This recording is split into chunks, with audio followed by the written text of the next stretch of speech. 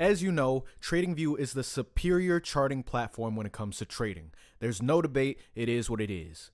But if you're like me, someone who charts on TradingView and executes on NinjaTrader, it would be helpful if we had access to the same tools. That way, we would only need one platform running. The bad news is, it's not possible, at least not 100%. The good news is, you can get really close. And in this video, I'm to show you how. First off, TradingView lets you customize your charts beyond your wildest dreams. Purple bullish bars, yellow down close candles, and even emojis. You could literally make your charts look like the LA Lakers. Sadly, there's no emojis on NinjaTrader, but you can still customize the theme and colors in your charts just as you would on TradingView. If you want a more in-depth tutorial on this, you can check out my first video I uploaded. It's short, simple. I'll link the video down below so you can watch it after this. One of the good things about TradingView is how easy it is to use. You have a favorites bar where you can add tools and drawings that you plan on using the most. That way you won't have to, you know, come over here and select it from this drop down menu. NinjaTrader makes you right click, scroll down to drawing tools and look through the mess of options they have. To solve this, you're going to want to scroll over to the indicators tab and search for drawing tool tile select it, then click add. After that, you can customize it however you want, how many rows, and most importantly, click the drawing tools and select which tools you want to display. Click apply and you're good to go. Pops up here, right here on the left, uh, top left corner of the screen. You could drag it anywhere you want, do whatever you want, and you see it works perfectly as described. Also, this might not apply to everybody, but here's a quick tip.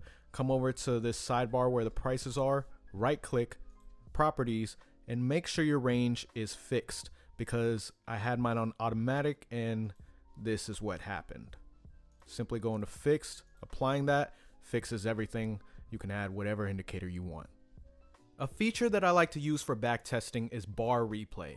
It lets you go back in time and watch the market play out. On NinjaTrader, there's something almost exactly the same, if not better, called Market Replay. First thing you're going to want to do is select Tools, then scroll down and click Historical Data. Next, you want to scroll down to the bottom and select the Load tab. From there, you'll see a line that says Get Market Replay Data. Click it, select whatever instrument you want to get data on. I'll choose ES. Select the date and download. Once the selection isn't grayed out anymore, you're good to go.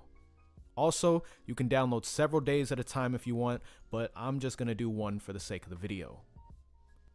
Next, you want to click the Connections tab and choose Playback Connection.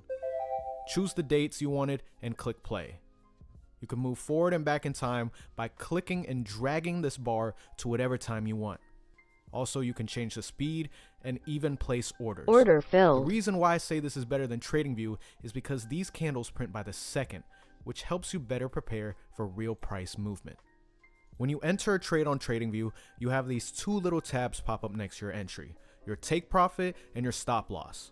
You also have the ability to move it around freely, and it shows you how much you're expected to win or lose if one of your targets hit. On NinjaTrader, this is called an ATM strategy. No, it's not some infinite money printing strategy. It actually stands for Advanced Trade Management. You can find this on the right side of the chart under your account name. You want to click it, select Custom, and create a strategy based on your needs.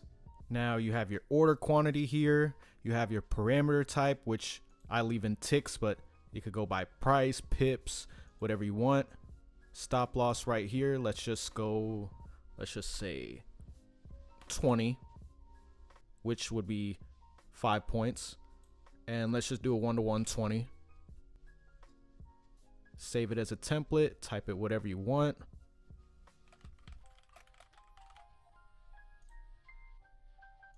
And you now have a bracket order.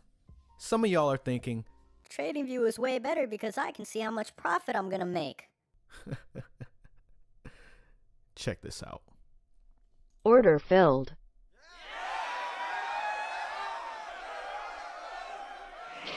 What's amazing about TradingView is the amount of free indicators on this platform. It's even crazier that that number grows every single day. And did I mention they were free?